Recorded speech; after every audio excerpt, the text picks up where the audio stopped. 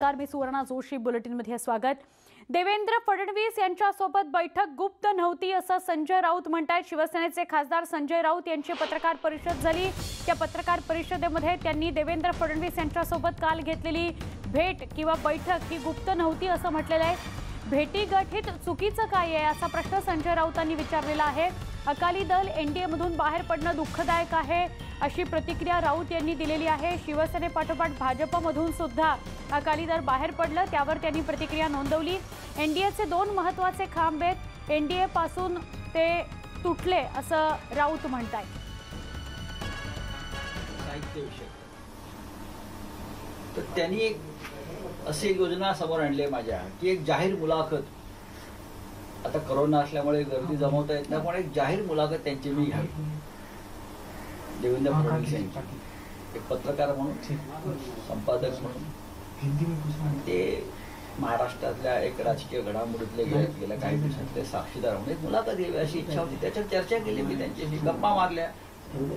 आणि जेवलो सुद्धा एकत्र. अगदी गोपनीय पद्धतीने जेवलो. सर हिंदी में जानना चाहिए सॉरी सर आ, काय सांगाल? आता हे प्रारूप वगैरे फिक्स करायचं आहे ते प्रारूप ठरलेलं आहे का तुमचं? आता की पुढची मुलाखत कशा प्रकारे होणार आहे? कुठे होणार आहे? काल आम्ही साधारण चर्चा केली पण ठरवू ना आम्ही. हा. अनेकांना उत्सुकता आहे. हा. मुलाखती संदर्भात मी घेतलेल्या त्यांच्या. मध्यंतरी मी माननीय शरद पवार यांची मुलाखत घेतली सामनासाठी. खरं म्हणजे पवार साहेबांची मुलाखत सुद्धा मी जाहीर मुलाखत पुण्यात घेणार होतो पिंपरी चिंचवडला. पण ती त्या काळात होऊ शकली नाही या काही घटना घडामोडींमुळे यांची घेण्यासंदर्भात काही संस्थांचं म्हणणं आहे देवेंद्र फडणवीस यांचं. तर घेऊ ना। जर जेव्हा तुम्ही मुलाखत घेता त्यानंतर राजकीय समीकरण बदलतात असं सर्वांचं मत आहे. ज्याप्रमाणे तुम्ही एखाद्याची मुलाखत घेतल्यानंतर पूर्ण समीकरणच बदलतं. त्यामुळे तुम्ही आता देवेंद्र सिंगची मुलाखत घेणार. त्यानंतर राजकीय सम- समीकरण बदलतील आता हे मी कसं काय सांगणार? मला असं वाटतंय सरकार सध्याची चाललेली व्यवस्था ही व्यवस्था पाच वर्षासाठी आणि शरद पवार माननीय शरद पवार किंवा दिल्लीमध्ये सोनिया गांधी राहुल गांधी महाराष्ट्रात या सगळ्यांचं अत्यंत उत्तम प्रकारे समन्वय आहे. राज्याचं नेतृत्व उद्धव ठाकरे करतायत. शरद पवार साहेबांचं त्यांना उत्तम मार्गदर्शन असतं. आम्ही सगळे एकमेकांशी सहकार्य करतो. त्याच्यामुळे काही समीकरण वगैरे बदलणार नाही पण सर सर, हिंदी में जानना लाइव कट रहा है शिवसेना आणि सर, बीजेपी लाइव कट रहा है हिंदी कटलेलं हिंदी में होतं. जानना चाहेंगे सर. त्यामुळे आता शिवसेना आता आणि बीजेपी पुन्हा एकदा एकत्र जवळ याची अशी जी सगळी चर्चा सुरू झालेली आहे राजकीय वर्तुळामध्ये. चर्चा तुम्ही करू शकता. हा. आपल्याकडे काय चर्चेला सेन्सॉरशिप नाही. हा. किंवा चर्चेला रेशनिंग पण नाही.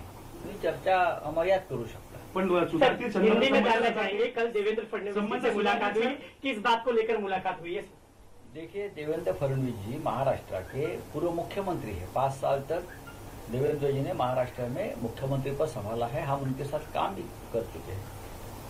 फ़िलहाल देवेंद्र जी महाराष्ट्र के लीडर ऑफ़ अपोजिशन है। बीजेपी के वरिष्ठ नेता है। अब बिहार के इंचार्ज बन गए।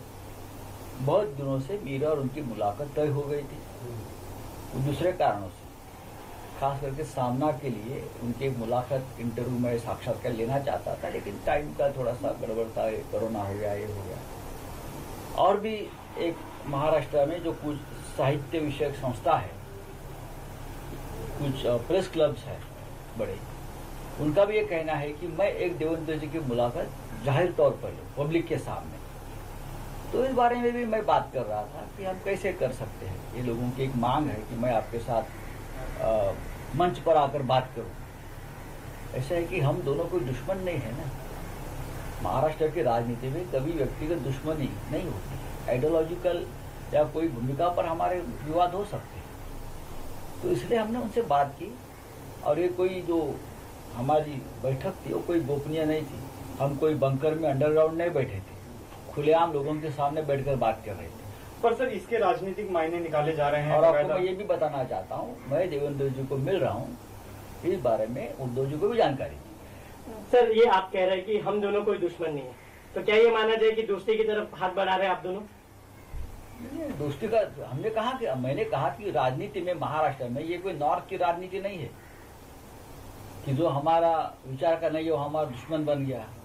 हम हमेशा एक दूसरे से मिलने की संस्कार और संस्कृति महाराष्ट्र के राजनीति में है। जब हम बीजेपी के साथ थे तो मैं खुद जाकर पवार साहब को मिलता था। आज भी बीजेपी के बहुत से नेता पवार साहब से कम्युनिकेट करते हैं। ये क्या है उसमें?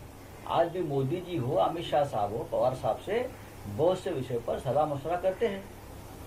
मुख्यमंत्री उद्धव ठाकरे भी आज भी प्रधानमंत्री मोदी जी को अपना नेता मानते हैं, मैं भी मानता हूँ। देश के प्रधानमंत्री है। हम्म। सर ये जानना चाहेंगे कि ये सर्वविदित है कि संजय राउत जब किसी से मुलाकात करते हैं तो राजनीतिक भूकंप आता है। तो क्या इस मुलाकात को एक राजनीतिक भूकंप की शक्ल माने हम? अगर भूकंप आएगा तो पहला जो धक्का होता है मुझे ही मिलेगा ना नीचे से। अब तक तो मुझे कोई करंट नहीं लगा है। जब तक करंट नहीं लगता है तब तक भूचाल कैसे आ जाएगा? पहले जो धक्के महसूस होते हैं ना two Richter scale one Richter अब तक तो आधा रिस्टर स्केल भी नहीं शुरू हुआ सर एक और बात है अकाली दल ने एनडीए का साथ छोड़ दिया है तो कहीं ना कहीं आपको लगता है शिवसेना भी रही रह चुकी है एनडीए में। कहीं ना कहीं लगता है जो नेशनल पार्टीज़ हैं उनको नजरअंदाज किया क्या जा है रहा कि है देखो एनडीए के जो मज़बूत स्तंभ जो थे वो शिवसेना और अकाली दल थे। शिवसेना को मजबूरन एनडीए से बाहर निकलना पड़ा। मजबूरन बोल रहा हूँ हमारी इच्छा नहीं थी। अब अकाली दल जो एक बहुत ही मज़बूत स्तंभ था। 1996 से हम एक साथ रहे। वो भी उनके वो किसानों का जो विषय है उस मामले में निकल चुके हैं। अब नए साथी मिल गए हैं बीजेपी या एनडीए को। तो मैं उनको शुभकामनाएँ देता हूँ। पर सर आने वाले बिहार चुनाव में इसका कितना असर देखते हुए नज़र आ रहा है जहाँ शिवसेना और अकाली दल नहीं है जिस गठबंधन में मैं उसको इंडिया नहीं मानता। इंडिया का मतलब था बीजेपी शिवसेना और अकाली दल। ये तीन दल हमेशा एक साथ रहे संकट के घड़ी में रहे। चाहे सत्ता हो या ना हो हम हमेशा बीजेपी के साथ रहे एनडीए के साथ रहे। अब अगर हम दोनों नहीं है और कुछ नए लोग जुड़े हैं तो नया गठबंधन है। सारा अली खान दीपिका पादुकोण और श्रद्धा कपूर से पूछताछ हुई है। मुझे देखिए ये जाँच के बारे में मैं क्या सवाल मैं भी आप जैसे अखबार में पढ़ता हूँ टीवी पे देखता हूँ। मराठीमध्ये अकाली दल जे सोडून गेलेलं आहे त्याच्याबद्दल जे आणि एनडीए बद्दल म्हणताय तर त्याच्याबद्दल मराठीमध्ये नाही अकाली दल ने अकाली दलाच्या बादल यांनी एनडीएतून बाहेर पडण्याची घोषणा केली. मला खरोखर वाईट वाटलं आम्हाला सगळ्यांना कारण शिवसेना त्या एनडीएतून बाहेर पडली. बाहेर पडली म्हणण्यापेक्षा शिवसेनेला बाहेर पडावं लागलं. जी परिस्थिती आमच्यावर लागली. आम्ही सगळ्यात जुने साथी होतो यांचे. आम्ही आणि अकाली दल. अकाली दल आणि शिवसेनेनं एनडीए मध्ये सातत्यानं एक बाजू लावून ठेवली होती. काही लोक जे आले आणि गेले ते सत्तेच्या झुळकीबरोबर आले आणि सत्ता जाताच निघून गेले. पण शिवसेना आणि एनडीए अकाली दल कधी या पद्धतीनं वागले नाही पण शिवसेनेला बाहेर पडावं लागलं तर अकाली दल बाहेर पडलं. अकाली दल आणि शिवसेना हे एनडीएचे दोन मजबूत स्तंभ होते खांब होते. आज दोन्ही खांब एनडीए मध्ये नाहीये. जिथे शिवसेना आणि अकाली दल नाही ज्या. आघाडीमध्ये त्याला मी एनडीए मानत नाही. ती नवीन आघाडी आहे त्या नावानं झालेली आम्ही त्यांचे चेहरे होतो एनडीएचे. मुख्य फेस.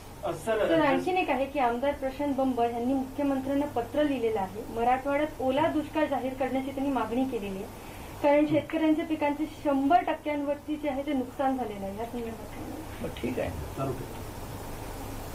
नुकसान नक्कीच झालेलं आहे.